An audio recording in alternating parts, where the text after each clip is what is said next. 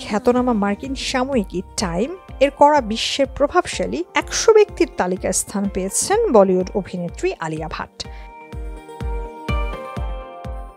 গত বুধবার দু হাজার চব্বিশ সালে প্রভাবশালী একশো ব্যক্তির এ তালিকা প্রকাশ করেছে টাইম। আলিয়া ভাটের প্রশংসা করে সাময়িকীতে ব্রিটিশ পরিচালক টম হার্পার লিখেছেন হার্ট অব স্টোন এর সুবাদে আলিয়ার সঙ্গে পরিচয়। সিনেমাটি দিয়েই হলিউডে অভিষেক হয় তার।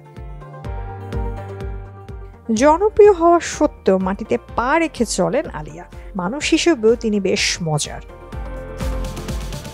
আলিয়া সম্পর্কে টম আরও লিখেছেন, তিনি কেবল বিশ্ব চলচ্চিত্র জগতের প্রতিভা ভাবন অভিনেত্রী নন, এক দশকের বেশি সময় ধরে কৃতিত্বের সঙ্গে ভারতীয় সিনেমায় কাজ করে চলেছেন। ইনস্টাগ্রাম পোস্টে নিজের এই খুশির খবর ভাগ করে নিয়েছেন আলিয়া। তাকে নিয়ে লেখা সাময়িকীটির একটি স্ক্রিনশট শেয়ার করে অভিনেত্রী লিখেছেন, টাইমের প্রভাবশালী একশো ব্যক্তির এই তালিকার অংশ হতে পেরে সম্মানিত।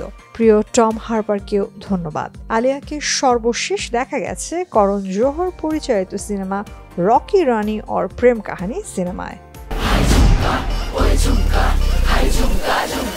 What, chumka?